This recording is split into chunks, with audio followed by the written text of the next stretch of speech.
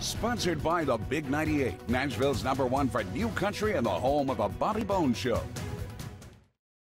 It's amazing to me. You guys have been married for 35 years, still married and getting along, and now making music together too. Still married and getting along. yeah. Most of the time, anyway. We're getting along pretty good, actually. That's the that's the key to a long-term relationship of any type or a marriage, particularly, right? You've really got to get along. Obviously, with the new album out, House of Love, you guys have had singles and videos and doing a lot of uh, press on this. Well, we're trying to uh, to get everything out as quickly as possible.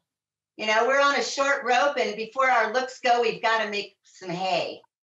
You know, uh, seeing the the videos that you guys have done for this new album as well, and uh, and they're getting a lot of great exposure. It has to be fun, you know, not only making the album, writing the songs and everything, and and doing them as a couple, but also doing the great music videos too, right? Well, there's a lot of art direction involved in in our creation of our brand and how we want everything to look. And so, you know, we we direct and art direct and do the the videos ourselves. So we've got the continuity, but it's it's a lot of fun. I do have an artsy background. I'm I'm an artist now, um, but I also was a graphic artist and a makeup artist in Hollywood in the um, Tiger Beat era. So that was a lot of fun. Well, you know, I thought it was interesting too, Hemp, that uh, that you guys originally met at a Cars concert. You got to tell yeah. me how this happened. Well, the Cars was one of the biggest bands of the world at the time. They were playing the sports arena in LA, and uh, both of us had a little bit of a connection to the music industry at the time.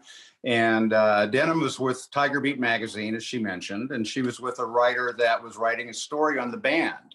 And so they had backstage passes. In fact, the writer just said, Hey, I'm, I'm going to be doing a story on the cars. Do you want to go with me? So it was just one of those little things where she decided to go. And uh, so she was backstage, and I was with a friend of mine. And um, I don't know how we got backstage. We just talked our way in, slipped in. Somehow we wound up back there. And it, because the cars were so big at the time, there was lots of people backstage. They had catering, and everybody was partying, and it was an amazing time. And I looked around and I saw Denim and I have to say, it was lust at first sight. She just looked absolutely amazing. Of all the models, groupies, beautiful women backstage, there was something about her. There's a quality in her spirit, even though she, I mean, she was fantastic. She was. I still remember what she was wearing. So it's one of those kinds of stories that you hear about, and um, you know, here we are, 35 years later. I think Hemp is so romantic. You know, he's just uh, that's one of the things he brings to his songwriting, and I'm glad to be getting the being the recipient of it.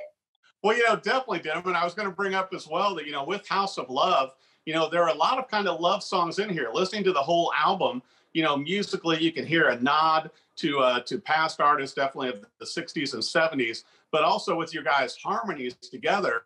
Yeah. It's kind of like there's a lot of love songs and a lot of you know feeling of intimacy throughout the album.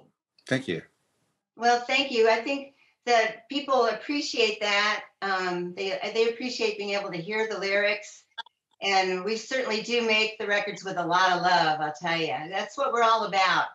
Uh, we really've got nothing else um, in our purpose except to, you know, be happy and bring happiness and good times. Yeah. yeah. Hey, Eric, one of the things you mentioned about our sound is that something we discovered rather late in life you know we had sung before a long long time ago but we left uh, we left the music business and went in a completely different direction for 30 years. And it was only after retiring and the death of both of our parents sets of parents you know kind of sets you adrift a little bit and you start looking in the mirror and thinking how much time do we have left? And um, you know we just realized that if we're going to ever pursue our gifts or our passions don't let it hold you back, folks, because it doesn't matter what age you are, but particularly at this age, um, if you have a chance to really pursue it, and you know, the music is one of those things in Nashville. You've got to decide, hey, am I really going to go for it here and, and, and get good? Can, am I even competitive? Can I write songs on that level? Can I sing, perform, play the guitar, all this kind of stuff? It, it, it you really have a shot at, at you know a career or being excellent on some level without even thinking about a career And I entered into this without thinking about a career because I'm telling you what, you know, you don't usually start a music career in your late 60s. You know, I was going to say you wrote songs though at a young age, and you were kind of part of the whole San Francisco scene and really got involved yep. with music. So, truthfully, for you, I feel like it was kind of a coming back home, and it's it a nice was. thing that you and Denim can share together have the harmonies and have those voices put together. And it was it was so redemptive because I didn't know if I could do it again. I didn't know if I had the gift, the talent, or the enthusiasm to really pursue it. Because to get good, as you know, you're a guitar player, you've really got to want it. You've got to put the time in and the effort in, the focus and all of that, writing, rehearsing, practicing, all those different things. So uh, yeah, you know, it was coming back home, and it was the redemption of our life. When we started singing together, that's when the magic really happened. And we've come up with a signature sound that just sounds like us. And it's so great to be playing our own music and putting it out there and getting such a great reception. Well, you know, I've got to bring up also that uh, you've got the the song, you know, you've got a song and the album that are Grammy nominated also, which is, you know, at this point in life, that's not a bad thing. Yeah. Well, I have to clarify, Eric. It wasn't Grammy nominated. It was submitted for a Grammy nomination. To me, that's so close enough. that's, it's a big deal for us, you know. Yeah. And, yeah, uh, it's amazing. I mean, just when you say the word Grammy and your music is is possibly a part of that huge deal, Denim. I mean, uh, very exciting. Oh man. Yeah, we had a, a, friend in the business that submitted our songs, and well, he was a four-time Grammy winner himself and so he he said these songs need to be nominated. So he's the one that took the bull by the horns and entered us. We had no idea, but we were just thrilled to be uh, be part of it. And I'll tell you what, it's nice. We've had a song on the BBC now that got picked up. It was sent out, and people heard it and they loved it, and they started to air it. It's just incredible what's happening.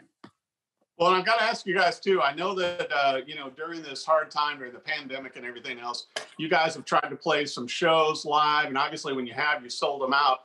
Are you got? Are you both? You know, looking at getting back on tour and doing some more shows this year, particularly with the new album?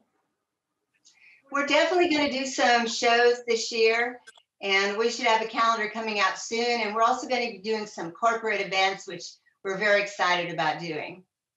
Yeah, so that's going to be super fun. Yeah, we just got contacted by a event planner who's been looking for us for corporate events and conventions. So that's really exciting you know you work so long to get to a certain point and then things start to begin to happen and then you have to throw fuel on the fire and we're just so thrilled to have um, you know jim frazier's our producer i mean as a result of working with him he changed our lives completely. He brought into existence the music that was in my head and uh, denim and i have been just so blessed to have him and then our publicist is great.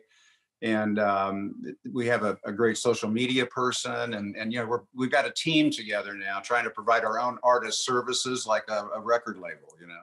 Well i want to bring up also denim i want to make sure for our viewers to know about as the singles come out i know no, more videos and everything else as well with house of love where do our viewers need to go for the website for social media and everything to keep up with you and him well we can be found on facebook of course hemp and Denim, uh, Instagram Hemp and Denim. Uh, hempanddenim.com is our website. Uh, you can you can buy the music there, and we're also on YouTube and all the streaming services. With the House of Love, are really uh, great album, great songs on there. It's a fun Thank listen, you. and uh, the videos I know we're getting a lot of awareness as you brought up too, Hemp, uh, with uh, getting some playtime on the BBC and uh, I'm sure uh, doing well in other Americana areas. I think this is going to be a great, uh, great year for hemp and Denim. So I just want to thank you both for uh, coming on the Rock and Review and talking about the new album, House of Love. Thank you so much, Eric. It's a thrill to be on your show. Yeah, it really is, man. Thank you so much for being a, friend, a fan, and for having us on your show today. It's really been a blast. Thank you. Sponsored by the Big 98, Nashville's number one for new country and the home of a Bobby Bones Show.